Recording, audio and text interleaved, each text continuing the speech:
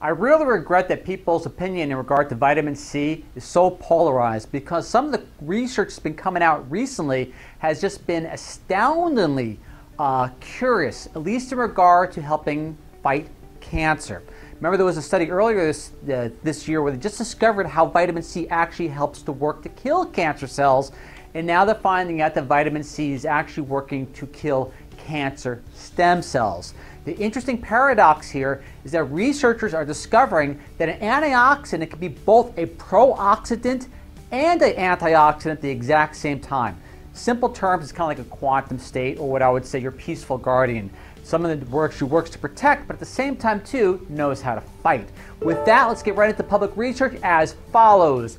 Vitamin C effective in targeting cancer stem cells. Vitamin C has been previously shown to be effective as a non toxic anti cancer agent in studies, and it was recently shown to reduce mortality by 25% on breast cancer patients in Japan. So the researchers want to pursue this course as to why.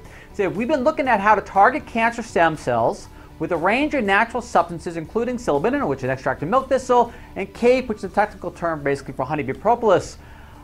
But by far the most exciting as a result was with vitamin C, and that is their quote. They wanted to compare less toxic substances because right now a lot of chemo treatments they're realizing are failing in regard to actually killing the cancer stem cells. So what natural substances out there that could actually target the cancer stem cells itself? They looked at a few. I want to cover a highlight of the runners-up at the end of the study. Until this time, I want to just basically focus on the vitamin C. So let's go right into study parameters as follows. Citation title NADH autofluorescence, a new metabolic biomarker for cancer stem cell identification of vitamin C and CAPE, remember the honeybee propolis, as natural products targeting stemness. DOI is as follows. Funding is as follows for no conflicts of interest. Study participants, well, it's in vitro or test tube, you know, cell culture dish, whatever. Materials are listed. They did a great job listing all the materials and methods for other uh, statisticians or researchers to delve deeper into. Analytics, that's the type of test they utilized. Results. Vitamin C, this is to quote directly from the research and not to ad lib even a word. Vitamin C is up to 10 times more effective at stopping cancer cell growth than pharmaceuticals as 2-DG, which are other uh, experimental drugs in regard to killing cancer stem cells. According to scientists in Salford, UK, the research published on Oncotarget is the first evidence that vitamin C ascorbic acid can be used to target and kill cancer stem cells, the cells responsible for fueling fatal tumors. And in the interest of time, let's proceed forward toward their conclusion.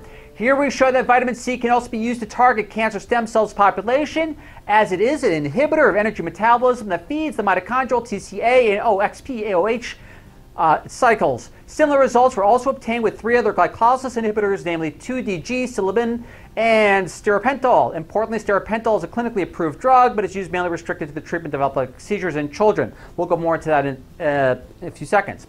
And not approved for cancer therapy. Thus, the highlight of the quote, of all things I just rushed through, thus, vitamin C, quoting the researchers, may prove to be promising new uh, promising agent for new clinical trials aimed at testing its ability to reduce cancer stem cell activity in cancer patients as an add on to more conventional therapies to prevent tumor recurrence, further disease progression, and metastasis. Interestingly, a breast cancer based clinical trial, as we said before, has been shown that use of vitamin C concurrent with or within six months of chemotherapy significantly reduced both tumor recurrence and patient mortality. However, the mechanism underlying its potential clinical benefit remained obscure. Similarly, vitamin C tr- treatment inhibits tumor growth in murine animal models in vivo as well. All right, to highlight some of the other aspects. So, vitamin C is incredible. The main reason why the focus on vitamin C is because its ability to kill cancer stem cells, as well as works as an antioxidant and be virtually non toxic. However, to highlight a few of the other elements which basically deserve mention, let's look right into the stiripentol, which is a pharmaceutical. Now, remember, this has got some toxic side effects, but yet, still, it was 50 to 100 times more potent than 2DG, which is another pharmaceutical which is look, looking for approval in regard to killing cancer stem cells. Honeybee propolis, otherwise known as CAPE, This is kind of cool too.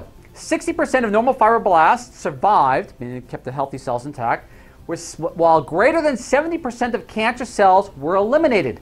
Thus, CAPE, honeybee propolis, shows a clearer selectivity for targeting CSCS cancer stem cells and adherent cancer cells relative to the normal fibroblast. Silibin, milk thistle extract, specifically functioned as an inhibitor of glucose uptake and blocked mammosphere formation, now stem cells themselves, which result in tumor formation. That was the research was recently conducted this year. It's kind of cool. Again, it primarily focused on vitamin C, even though there are other highlights that deserve pursuit.